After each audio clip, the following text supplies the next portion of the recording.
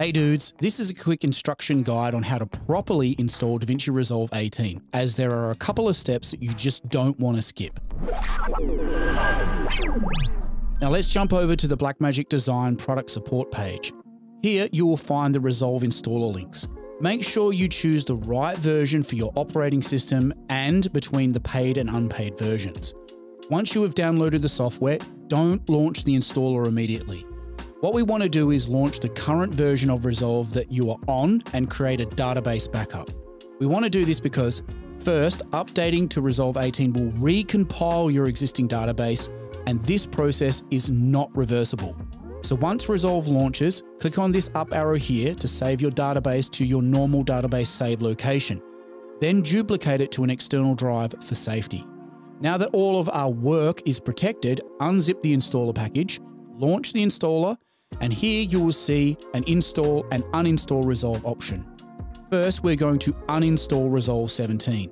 Double click and once complete, double click on the Resolve 18 installer. Once installed, you should see the following programs in your Launchpad or Programs folder. You should see the Blackmagic Design Proxy Generator, DaVinci Resolve Control Panel Setup, DaVinci Remote Monitoring, DaVinci Resolve 18, and Fairlight Audio. Now let's launch Resolve 18 on first launch, you'll be presented with a new features overview. Just click continue. Resolve will then launch and you'll be presented with the following warnings. We recommend that you back up your existing database project library before upgrading. You cannot undo this action. As we have already backed up our database, click upgrade. The amount of time it takes to reconfigure your database will depend on how large the database is. Mine's large, so this took quite a while, so don't stress if your computer sits there thinking about it. When complete, all of your projects will appear and will be ready to launch. The next thing that I would recommend before starting work is to create a new database backup, as this database has just been created, not backed up.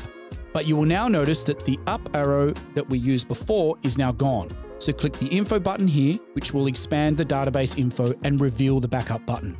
Click the backup button and choose a save location, create a new folder and name it Resolve 18 Database Backups. Hit the backup and once complete, you are good to go on Resolve 18. And that's it, guys. I'll see you in the next one. Bye for now.